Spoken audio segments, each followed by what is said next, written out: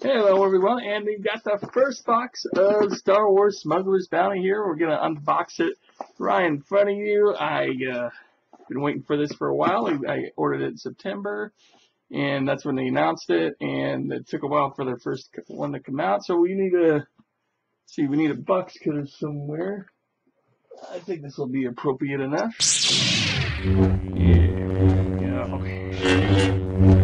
And so once again, it's a, it's a, my first unboxing in quite a while because I unsubscribed to um, Loot Crate and um, the Marvel box. I mean, they're they're kind of piling up, but I'm a big Star Wars fan, so I thought I'd go with this. So once again, you'll get a quick peek of what's inside. I don't know what's inside yet, except for the uh, platinum uh, Captain Phasma uh, vinyl that they announced a while back. But here we go. Yeah, you saw something I didn't. So I'm gonna close it up a little bit again and let's go ahead and start. I'm just gonna blindly open it and reach around. Whoops, what's the first thing here? Well, you know what? You didn't really get much of a peek inside because just like the Marvel one, there's a there's a little fold in the cardboard. So so we got a patch of the First Order. Give me a good look at that. There we go. And ooh, Star Wars pin of of Kylo Ren. I can wear that to the premiere maybe. That's pretty neat. All right, it's just like the Marvel ones. The Marvel ones always come with a pin and a patch, and that's how they are. Okay, and the first thing up, oh, T-shirt. There we go. And let me see, that's a triple X, right?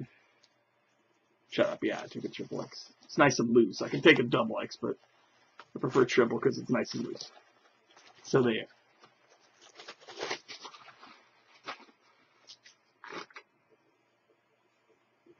Alright, and there we have it. Look at that. Our little Stormtrooper pop vinyl. There's a t-shirt. That's very cute. I like that one.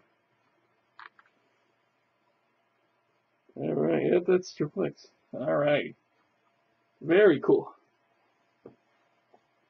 Already off to a good start. These are $25 with about $50 worth of stuff that come bi- uh, bi-monthly, and this is the very first package of Star Wars uh, Smuggler's Bounty. Let's see what else we got here.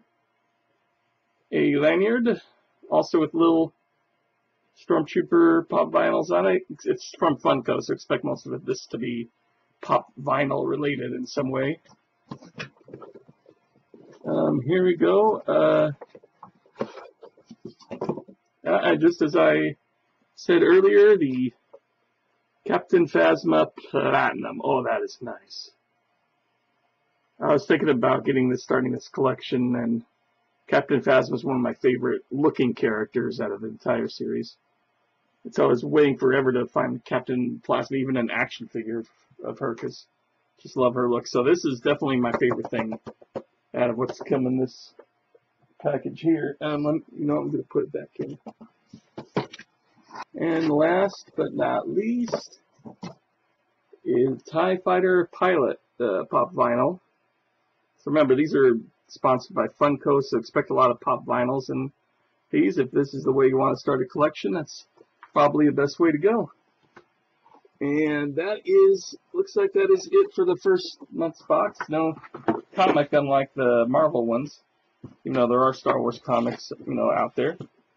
But still pretty cool.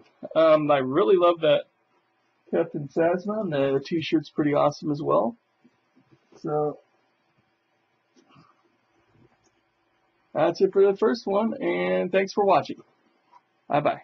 And one more thing I wanted to mention is that uh, it looks like this this month's theme was actually the I didn't notice till now like the first order.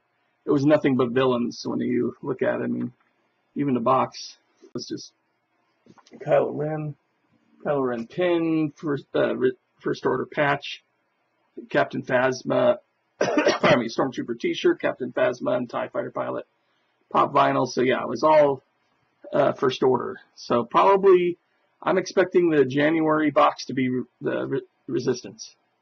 Anyway, now I'm saying goodbye again. Bye bye.